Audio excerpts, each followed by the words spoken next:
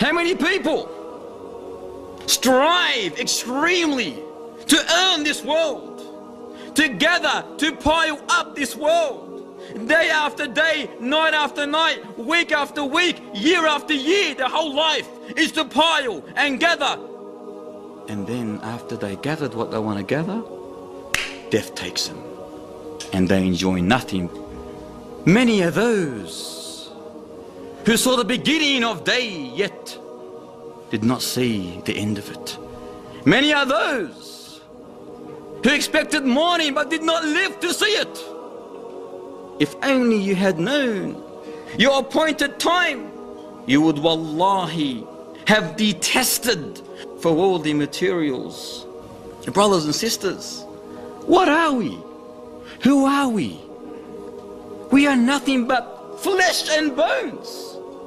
We are nothing but servants, slaves of the Almighty Lord, of Allah Ta'ala, the one who gave us this life.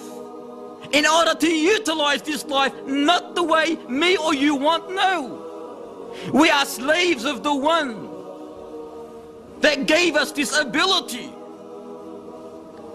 who lent us this body that we are carrying in order to utilize it in the way and only way He is pleased with.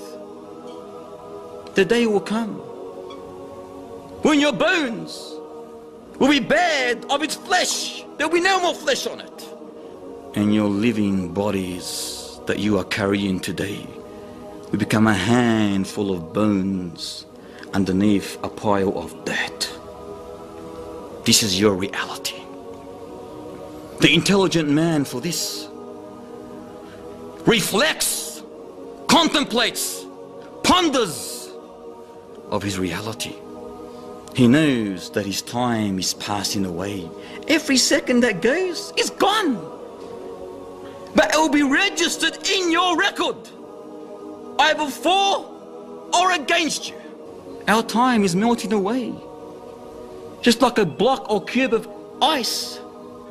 But the intelligent man knows and believes that his real success, his only salvation, is to do all the acts that will remove him from the severe punishment of hellfire and thus admit him into eternal bliss of paradise.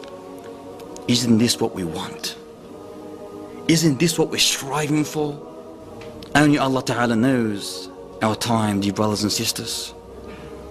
Only the Almighty Lord knows when the hour will come